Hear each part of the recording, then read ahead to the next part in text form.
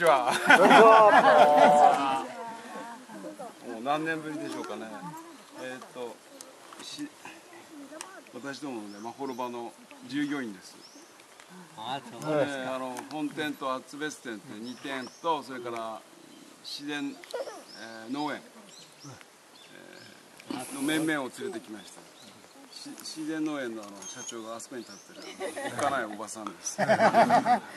今日はねあの先生のあの斉藤さんのこう人生のうんちくをちょっと語っていただきたい。社長とも何回も来てます来てますよね。